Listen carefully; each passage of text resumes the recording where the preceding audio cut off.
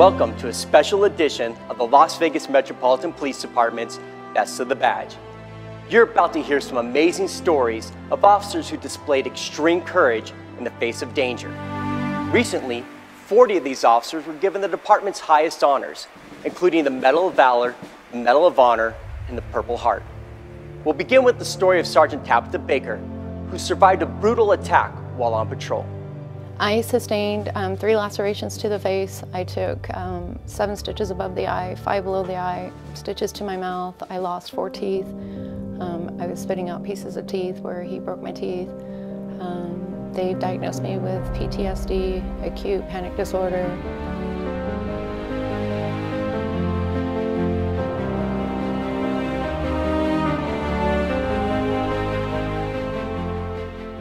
I, I describe them as roundhouse punches, just left, right, left, right, right to the face, right to the face, right to the sides of the temples, just going at it like this. And I'm trying to call for help and I can't get him off of me. And I recall at one point very vividly that I hold up my left hand in front of my face and I say, okay, that's enough already, just stop. Uh, my name is Detective Damon Young, and on June 1st, 2014, uh, I became the case agent on the attempted murder of Sergeant Tabitha Baker. During the course of the interrogation, Omar Brisbane said uh, that he was going to punish a police officer that day, and that's exactly what he did. And this comes on the heels of when Mr. Brisbane uh, completed a whole series of felony crimes that day, uh, to include binging on narcotics, uh, sexual assaults. Uh, he was out of his mind. And when he was committing that burglary that day and Sergeant Baker found him, he was determined to kill a police officer and he kneels down and he, he's face to face with me now as he's crouched down right next to me and he starts pulling on my on my gun and he's in my face saying i'm gonna kill you i'm gonna kill you bitch uh, when he realized that his punches weren't going to knock her out uh, that's when omar brisbane went for her weapon and for that split second I braced myself and wait for that shot to come, knowing that any second he's just going to execute me. And the only thought I had was my little girl at the time, because she was only 11 when this happened. And I thought, what's going to happen to her if, if this man shoots me. Uh, Detective Lisa Crane assisted me during the course of our investigation. Uh, when a man his size is doing the kind of damage that he's, he's doing to somebody, especially in the, in the face area, there's so many bones and so many things that can be broken. It's, it's going to be damaging no matter what. And then the fact that he's a professional boxer and he knows how to hit and he knows how to land the hits, um, even a grown man would have been injured. So I brace myself and wait for the shot to come and by the grace of God it didn't come and I look and I don't see him anymore and I look down and I see that he's running southbound. So I get up and I get to my knees and I feel that my firearm is still there so I lock it back in its holster. I make it back to my car and I get in my car and I proceed to follow him south. We go about a half a mile to Bayancoa, which is a cul-de-sac. Um, he gets to the cul-de-sac, sees he has nowhere else to go. So he starts to come back out of the cul-de-sac to find another escape route.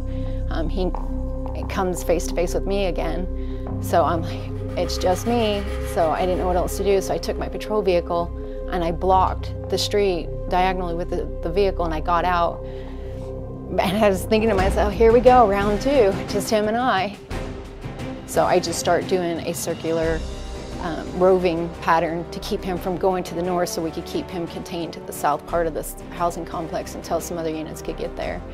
And the first unit that got there was Officer Tim Gross. And I, I can't even tell you what that was like to see his face when he pulled up and I knew, okay, they're here, they can, they can finally get this guy and identify him because in my whole mind I kept thinking, they'll never believe me if I don't find this guy. They'll never know who this guy is if we don't find him. So I was very relieved to see his face and I'll never forget it. And they got him. Tabitha Baker saved her own life that day uh, by fighting back, by being resilient, by using her head, by using her tactics, and sheer determination. Yeah, it, it's hard. I, I mean, I know I'm not the same person as I was, but I'm hoping to take that and make myself a better person than I was. And it's just a journey. It's going to take some time, but I'll get there.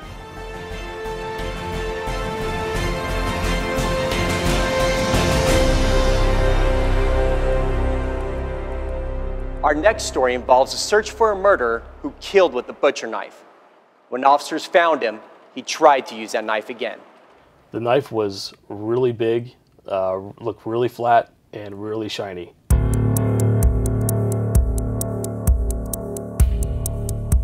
And he raised it up towards his ear uh, like this in, in like a downward motion. It was very surreal and it just, it was crazy. Action News reporter Denise Wong is live at Rainbow in Alta where that suspect was found last night. And Denise, he did not go down without a fight. That's right, Beth. Police had been looking for 27 year old Nathan Benson since early Sunday morning. They say that's when he stabbed a woman and left her to die. But this morning, this is where Benson was shot by officers. I always knew that policing was a dangerous uh, profession, um, but I saw it firsthand that night. I thought that if I didn't react, he was going to stab my partner. And um, if you know anything about knife wounds, they can be more deadly than actually gunshot. Officers fired a couple of shots. We know two officers were involved. Benson was taken down. The part I remember afterwards was when they did the walkthrough. Um, they actually pointed at this other knife, which was like a, a pocket knife, and I'm like, that's not the one I saw and I guess he had it in his other hand, so he actually was carrying two knives. Police are not releasing Benson's condition at this point, but a lot of people here feeling safer this morning knowing that a murder suspect is now off the streets. Oh yeah, definitely. We already knew that he was uh, willing, ready, and able to kill somebody.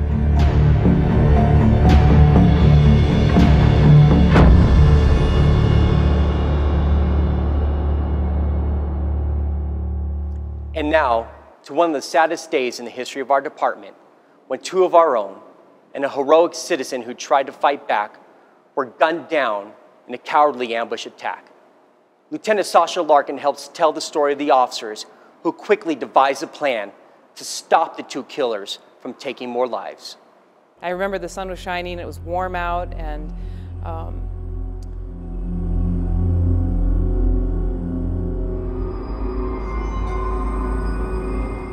The call comes out that there's um, uh, shots fired at Cici's Pizza. Receiving a 415A at Nelson Stewart at Cici's. Officer Brett Brosnahan arrives to Cici's Pizza first. When he does, the people that are standing outside immediately start telling him that the bad guy has run across the street towards the direction of Walmart. I need at the rear of the store, rear of the store. I ran south across Stewart past a little strip mall where more people were standing and screaming and pointing. Um, south again, which then brought me around to the backside of the Walmart. Officer Brosnahan arrives, and when he does, he gets to the rear uh, entrance of Walmart, and he has numerous people pointing him in direction of the rear doors saying, the bad guy's in there, the bad guy's in there. We have an active shooter inside the business, 201 North Nellis. It was at that point I was able to finally um, grab an employee of, of Walmart and ask, who is it, where are they, what's going on? And he goes, man, someone's inside killing everybody. Here, I'll show you where. And without further conversation, that employee just took off and ran back inside Walmart. So I ran in with him. He did a great job of using the walls that he had as cover um, and the, the aisleways as concealment to then find his way where he encounters the female. In that moment, her left hand started to raise in my direction, and I could tell this is a gun. There's not just one person, there's two, and I found number two. I'd already swept past her with my weapon, anticipating that long shot. So at that point, I started to sweep back towards her. As I did, I started to fire. Simultaneously, she started to fire. While that's happening, we have other units then arriving at the front doors of Walmart. We made entry into the front of the store. As soon as we made entry into the front of the store, that's when we heard the, the first volley of gunfire going off. And later on, we found out that that's when uh, Officer Brosnahan was engaging with the female in the back. I told Officer Huff, I got to get to the camera room. I know that I can't stay in a two-on-one gun battle and succeed. Um, so I chose to disengage at that moment. I went back the same direction that I came. I pull my I pull my um my police vehicle up to the back. I jump out. At this time, you know, I run Officer Brosnahan. We came up to make entry into the into the camera room. I remember reaching down and grabbing my radio, and, and I got on the radio, and, and I you know said on the radio, I need somebody with the key to the surveillance room. And uh, that's when Ryan Fryman said, I have your key. and he commenced to kick in the door. That's all I knew at the time that we're going in. When we went into the double doors, I covered down what I guess would be to the far northwest corner. I grabbed a hold of the, the camera and zoomed in, and, and that's when I found that it was Sergeant McKenzie. They, they located me in, in, in the store, and I, and I kind of motioned to where the suspect the suspects were. Sergeant McKenzie had a very tough job because as he went the other direction, he runs into an, a, a, whole group of civilians that were sheltered in place, and he didn't know if they were good guys or bad guys, and how he was going to get them out in a safe manner as well. As I confront them, I show them, I'm going to tell them, what, let me see your hands. You know, I could see the fear of God in these people. At this time, I, you know, I realized that they're not the, they're not the suspect. They're just caught in a store just like everybody else. I told them I'm going to get them out of here as soon as I can. When they went into Walmart, he's, he makes the tactical decisions that they are also going to split in the directions that they go. We go in between the aisles, so we're in between the two end caps of the aisles, inside the aisle, and my radio blares. It goes shh, and as soon as that happens, we start getting gunfire. Hey, give me the radio. We have shots fired inside the store. Hold your radio traffic. Two officers had long guns. Uh, Officer Tim Gross and Officer Zach Beal. So basically where the suspects were at was at the intersecting part of an L, more so, with Corbin and Bethard on one side, me and Tim on the other, and then Sergeant McKenzie right in the middle. So they pretty much had nowhere to go. By this time, my guys are up and running the camera room. Officer Nickel and Officer Fryman are able to work those cameras and give immediate real-time updates to our cops inside Walmart as to where the threat is, what they're doing, and what direction they're shooting. We have to be calm, we have to be cool and collective on giving this information out. I was sitting in the double door and uh, he shot a couple rounds, sucked back in real quick. As soon as I sidestepped and I had a clear view of the aisle, uh, he starts firing and uh, as soon as he started firing, I had my EOTech, which is my optic, rested right on his chest and I squeezed the trigger the shot is taken. And, and really, it's the shot that saves the day. All right, copy. We have two suspects that are down. Every day um, before June 8th, I was really excited to be at Northeast because it's a great place to learn and develop as a, a new supervisor or a new officer because we get um, action calls every day. On June 8th, I've talked to many people about it. It was devastating, obviously, and it felt for me like I lost my innocence in a way no leader ever thinks they're going to send out 12 and bring back 10. And on that day, not all of my men got to come home. We hurt. Like I said, we hurt as a department, as an agency, as a community. But I could only imagine what their family feels like. You, I think mostly about Alan and Igor. Uh, I think about their kids, their wives, their families, how this is just completely devastated. It's tough but both uh, Alan and Igor were great friends of mine. Truth be told, they will live in our hearts forever. But I couldn't be more proud of the actions that my men and women took on that day. From training to the way they conducted themselves to just truly the things that they did to support each other to get through those moments. They were great warriors. And I know that in my heart that they would want me to continue to fight. The bonds and the friendships that were born on June 8th will never die. And Alan Beck and Igor Soldo will motivate us, will help us strive to reach a new level of excellence, and will keep our agency remembering their legacies forever. I'd give everything back right now so those two dudes could be walking the face of the earth again. We salute everyone who responded on that day. Officers Beck and Soldo will live in our hearts forever, along with Joseph Wilcox, the citizen who fought back and was killed inside the Walmart. It's not uncommon for officers to arrive at the scene of a fire before the fire department. In this next incident, seconds mattered when a woman was trapped inside of a burning home.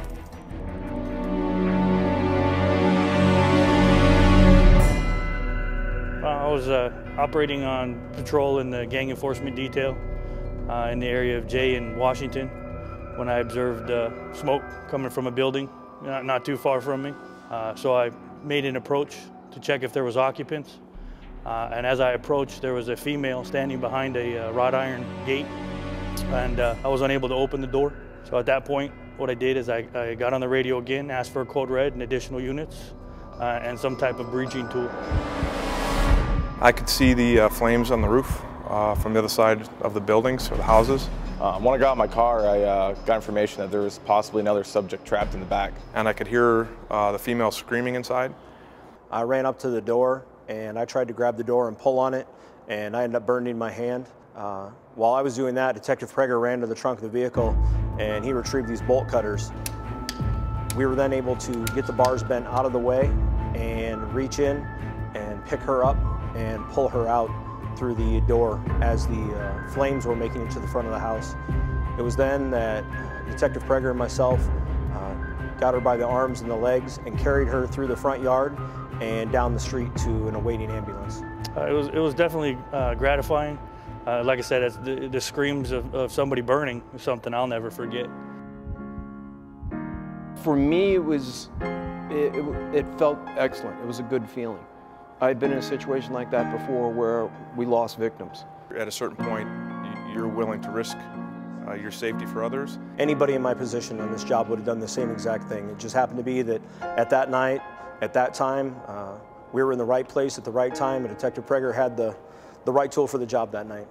She was in grave danger. If we wouldn't have, if we wouldn't have been able to get her out, she wouldn't have made it. She would not have made it. Metro's K-9 team is always on patrol, but when Officer Dwayne Layton saw a woman crash her car on Russell Road, it was truly like something out of a Hollywood script.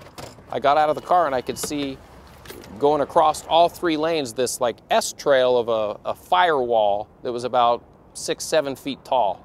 I mean, it was like something right out of Indiana Jones. It was, it was crazy.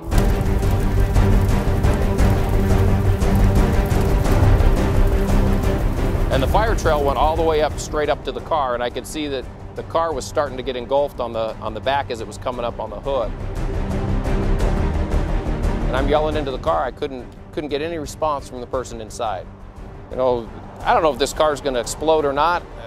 The, the gas tank obviously had a leak in it from the fuel, but fumes are what causes it to blow, and I didn't know if there was fumes in the gas tank, so I'm thinking, we got to get this lady out of the car. Um, so I, I grabbed this guy that was standing on the corner. I said, I need your help, come over here. And I gave him the rest of my fire extinguisher and I said, I'm gonna get the door open. As soon as I open it, I need you to spray underneath the car to keep the flames out.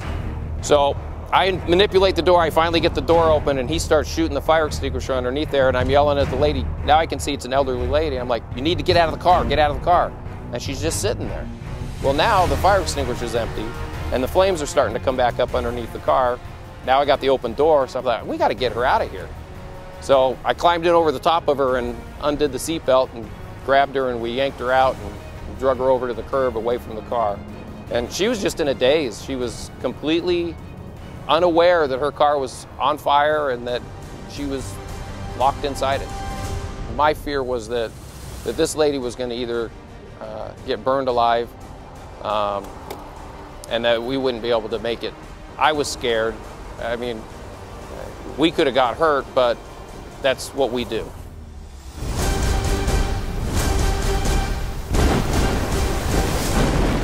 But she ended up being well. They took her to the hospital, and as far as I know, everything turned out okay with her. And uh, so I think it ended well. Suicide by cop is a danger our officers have faced too many times. In our next story, the safety of the public was at risk as well.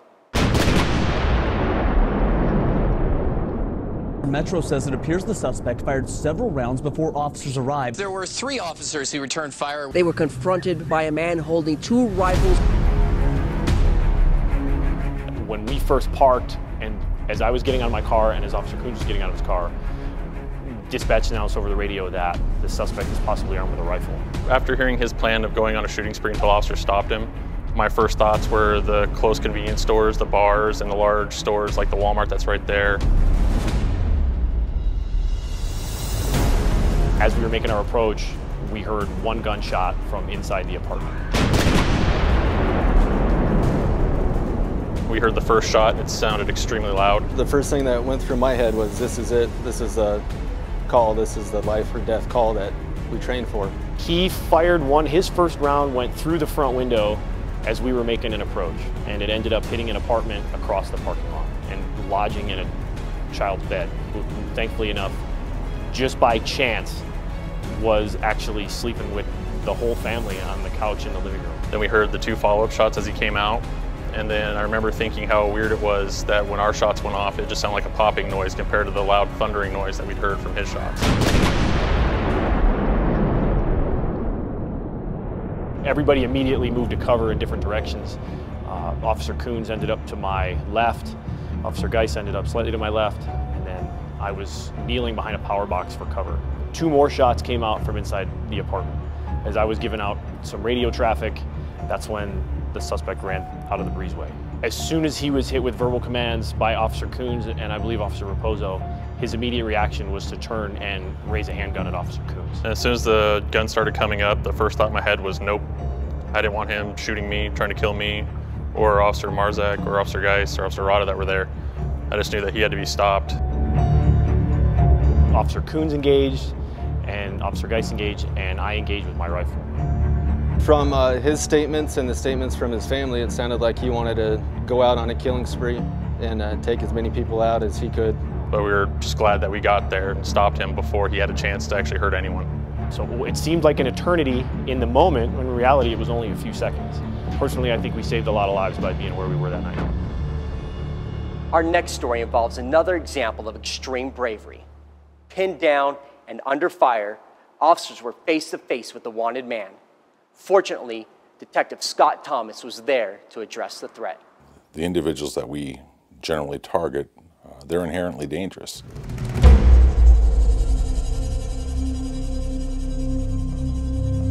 The fact that we're able to uh, go after these career criminals, uh,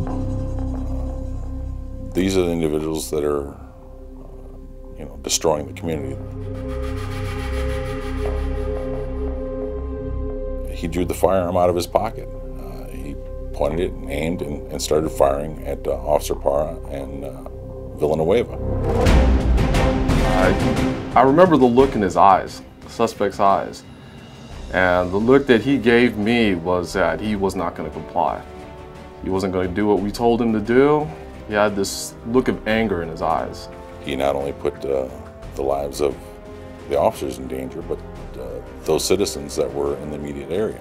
He had the option to put down his weapon, uh, to give up peacefully. Um, he chose the other. Opportunity became available for me to have a clear line of fire. I began addressing Mr. Torres with my firearm. The DA says the actions of the officers were reasonable and legally justified. I don't think of myself as a hero. Uh, I think anybody else given the same set of facts and circumstances, would have done the same thing. Uh, Detective Thomas is a hero in my eyes. Um, for what he did that day, I mean, he did what was necessary, not only to stop a threat, but for all of us to go home. Our final story involves a bizarre set of circumstances, including the death of a worker, explosive railroad tankers, and an approaching lightning storm that could have sparked disaster. It would have been a 1.7 mile standoff. It's a, uh, it was a pipe bomb waiting to go off.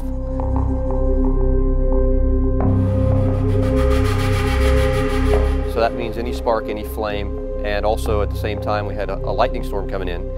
any lightning strike near the area uh, could have set it off. an ethanol tanker uh, nearby of about 28,000 gallons of fuel in it, and then another racing fuel tanker right there next to this one. So if this had went off, those would have sympathetically detonated, uh, and everybody that was there uh, wouldn't have been there anymore.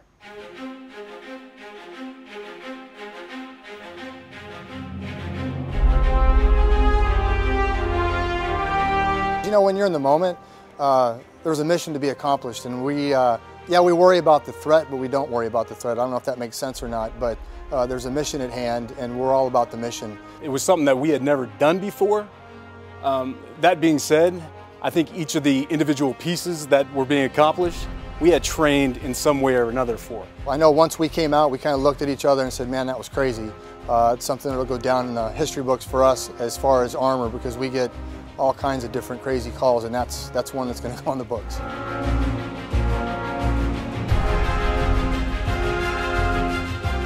Sending two of my good friends on top of that tanker was not, uh, not the best idea at the time, but it was the right thing to do to uh, accomplish the mission.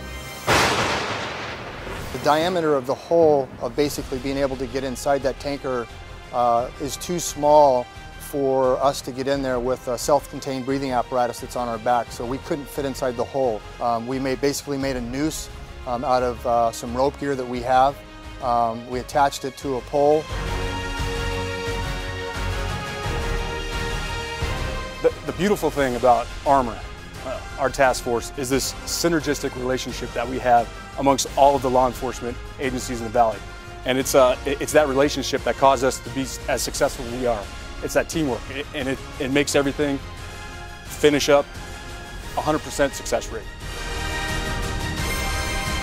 I can't say enough about the guys in armor uh, and how much they really do care about uh, solving whatever mission that's put in front of them, whether it be this kind of mission or whether it has to do something with chem, bio, rad, nuclear explosive that could hurt the general public.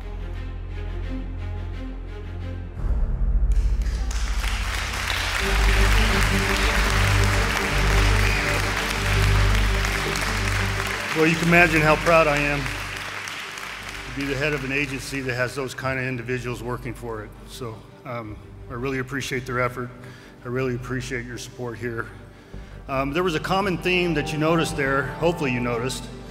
Um, there was a lot of fire in a lot of those calls, and I didn't see any firemen going in. So.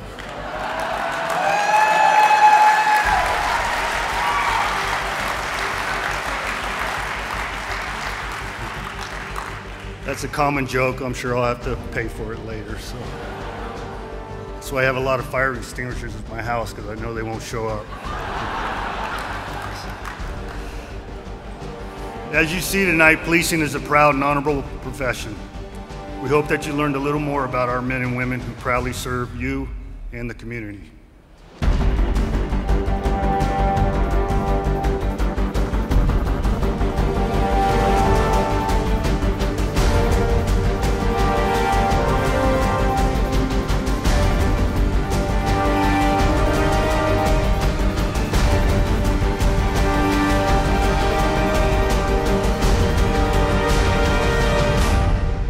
Are countless stories of bravery that take place every day. Thanks for letting us share a few of them with you today. We appreciate your support. And remember, the force is with you, always.